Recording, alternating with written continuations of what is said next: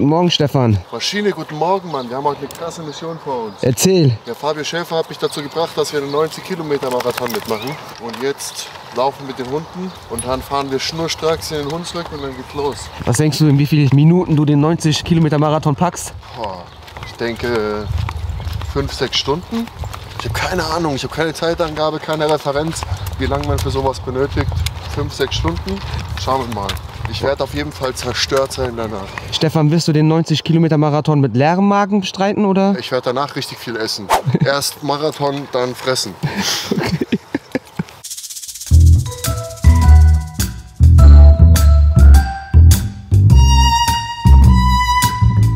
Wo sind wir? Wir sind im schönen Hunsrück. Wir warten auf Fabio Schäfer, der ist wie immer zu spät, Mann.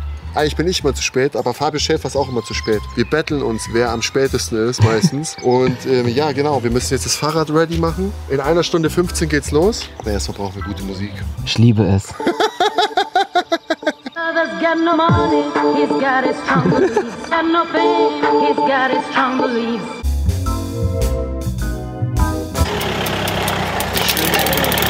das wunderschöne J-Kill, was ich habe. Ist ein sehr altes Mountainbike. Natürlich fahren hier alle mit 29 Zoll. Ich habe hier 26,5 Zoll.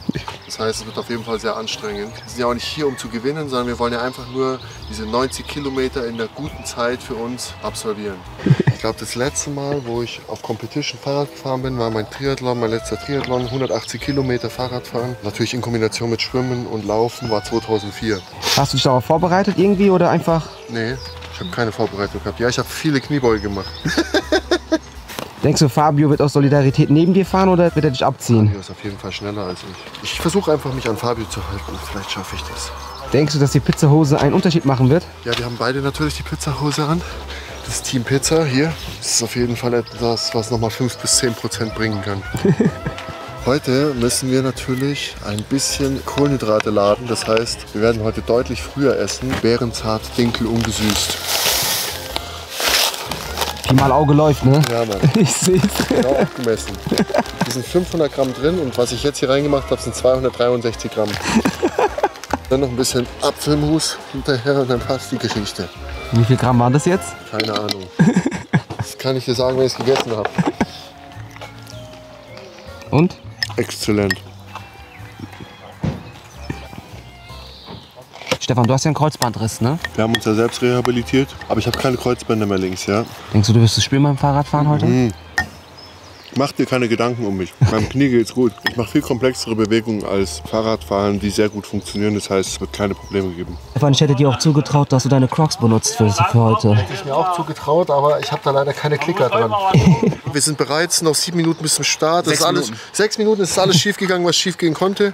Ich habe meine Sonnenbrille vergessen. Ich habe keine Sonnencreme drauf. Du hast Sonnencreme drauf, sehe ich. Du bist hab- smart, ich, ich Mann. bin einfach. sowas von Allmann Ja, Mann, heute Morgen gewesen dann ist alles ausgeartet. Aufzeichnung noch nicht gestartet. Okay, Oh, jetzt scheiße, geht es los. Komm. Keine Ahnung, wie viele Fahrradrennen gefahren.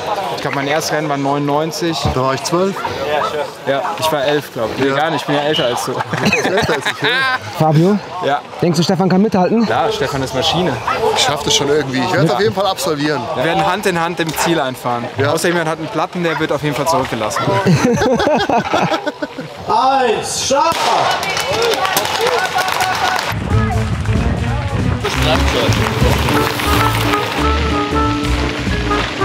Start! Danke dir.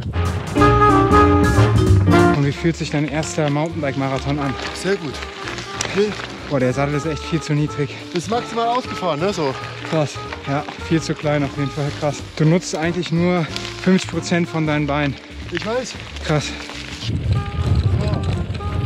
Wir haben schon 6% geschafft. Das ist der Stefan Pütz. Wie schlägt er sich? Schlägt sich gut im Schwätzen mit mir.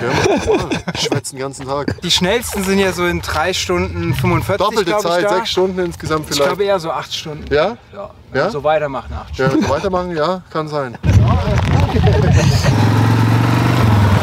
Schlagen die sich gut die letzten zwei? Ja, ja. Super, ne?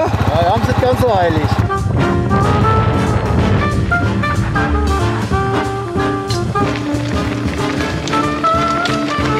Hinter uns versucht sich dauernd der Quadfahrer anzuschleichen. Ja, Mann. Den hört man dauernd und dann immer so die Ernüchterung. Oh nee, da sind sie wieder, ich muss wieder anhalten. Guck mal, Stefan, das da vorne lädt zum Verweilen ein. Ich nehme gerne auch Wasser. Vielen lieben Dank.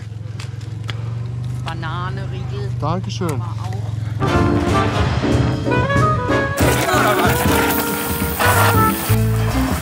Da waren die einfach, die Paparazzis.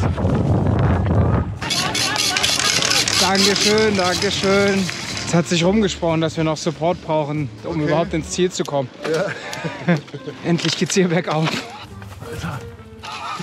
Scheiße, sorry, alter Fuck. Scheiße, ich hab vergessen, dass du Klickpedale drin hast. Malerisch schön hier, ne, mit dem Bach. Wunderschöner Flusslauf zum Eisbaden, aber wir haben leider keine Zeit, weil wir sind schon die Letzten.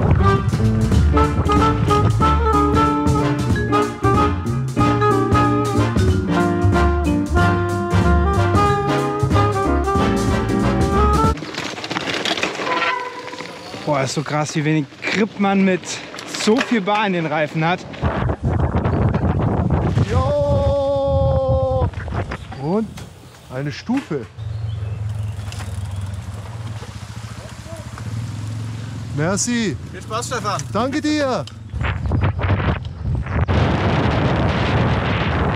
Hey, diese Abfahrt war auf jeden Fall steil.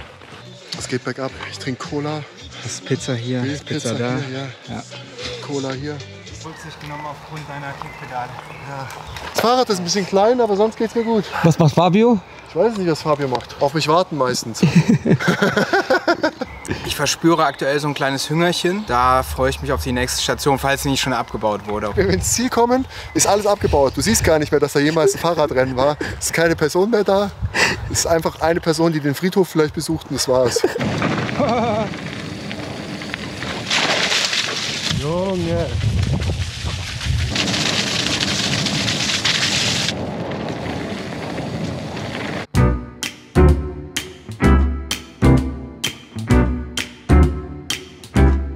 Ey, wir kommen echt gut durch, muss ich echt sagen. Ja? Ich hatte so einen kurzen Einbruch, aber dann habe ich mal wirklich gegen alle Grundsätze, eigentlich habe ich gegen das Grundgesetz verstoßen. Ich habe nämlich Cola getrunken. ah, Mann, sehr gut. Körper ist mindestens so alt wie das Fahrrad.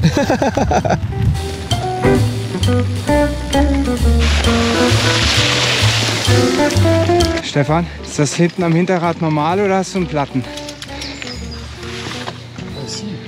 Krass. So war der nicht bei Beginn. Aber ist egal, es geht schon. Ja. Die paar Kilometer machen wir jetzt noch.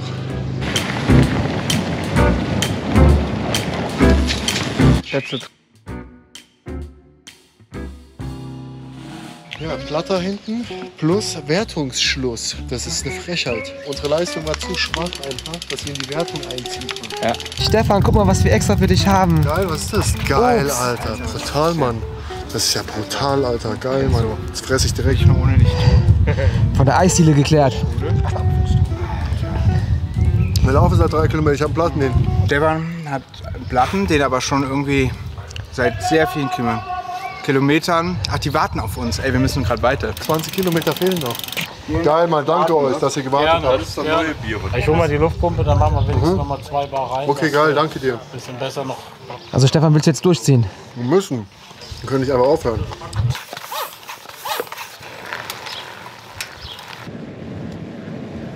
Stefan ist am Aufpumpen mittlerweile wieder richtig platt. Ist kurz vor der Felge. Ja, und wir haben noch sieben Kilometer. Der, ich der. Spaß schwindet. Wie kann das Ja, denn ich sein? weiß nicht. Das fuckt auf jeden Fall übertrieben ab. Sollen wir Räder tauschen? Aber der Sattel wird dann.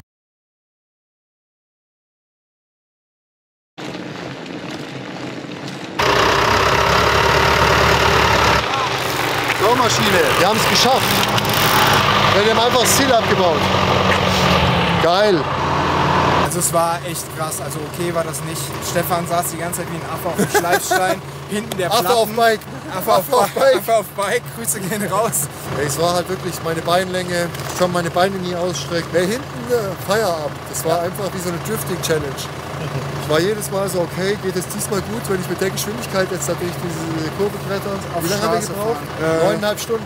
Ja, neuneinhalb Stunden. So, ich möchte mich äh, wirklich bei Fabi bedanken, denn er hatte diese schwachsinnige Idee, heute bei diesem ganzen Ding mitzumachen. Ich habe einfach nur gehört, es ist ein Marathon. Marathon hört sich immer gut an, es hört sich nach Herausforderung an.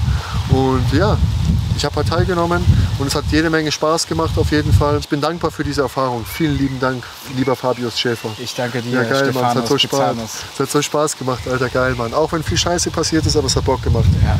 Definitiv. Eine Erinnerung. Ein weiterer Meilenstein in meinem Gedächtnis. Und jetzt fahren wir nach Heim und ich werde erstmal die Seehundposition für vier Stunden einnehmen, damit ich alles, was verkürzt ist, durch diese komische Fahrerposition wieder in die normale Position kommt. Und ich werde vielleicht ein Eisbad machen und äh, Saft saufen.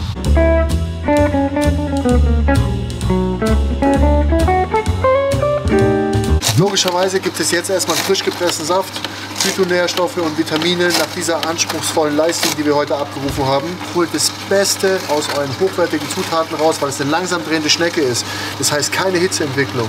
Ihr habt hier oben ein Staudenselleriefach und ein Karottenfach, sodass ihr nichts mehr schneiden müsst. Das macht der Safter für euch mit dem Code T800 10%.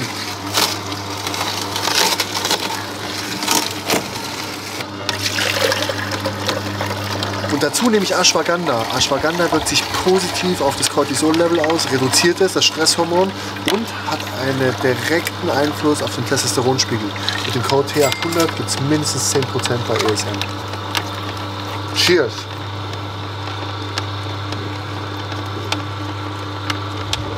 Endstufe, Mann. Einfach nur gut, Mann. Genau das habe ich gebraucht. Das hätte es an jeder Station als Verpflegung geben müssen.